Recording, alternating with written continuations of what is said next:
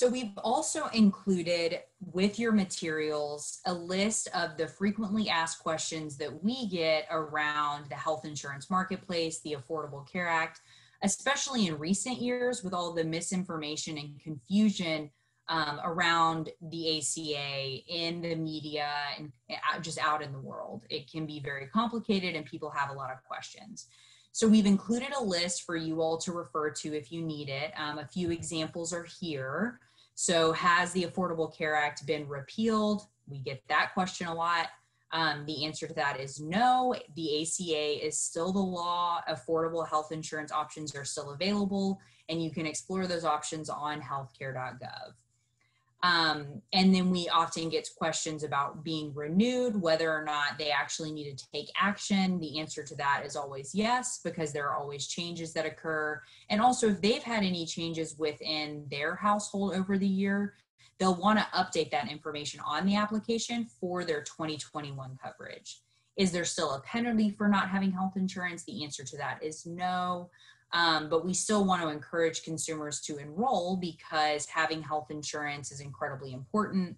It gives them the peace of mind um, to sort of go on their, you know, their day-to-day work, and then especially with the pandemic right now, I think health insurance is more important than ever.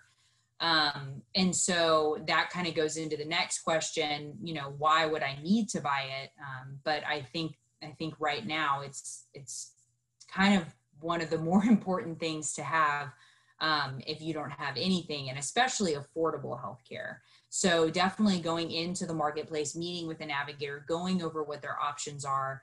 Um, you know, there's no, again, there's no obligation for them to enroll when they meet with a navigator. So, j- if they just want to explore their options um, and know what's out there, we can provide that assistance. So it never hurts to meet with a navigator. The appointment's free, and we're just here to make sure that they understand all of their options.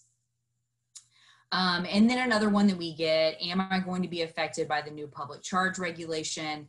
We see this a lot in, with the immigrant community that we work with. Um, and so you know, it depends on someone's situation, whether or not that would affect them. We have that answered in our ACA FAQs. So it's just important to maybe review through those FAQs before you start the callback so you can kind of get familiar with those.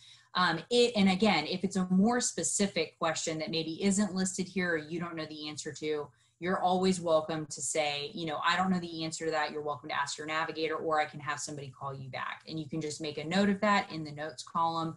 And when you send that back to Devin on a Friday, we'll be sure to make note of that and have one, our, one of our staff navigators follow up with that individual about their specific question. Um, so, so just make sure that you have this close by. It's just a helpful resource that we've provided no need to memorize any of the answers but again it's just it's supposed to be there to to help with the process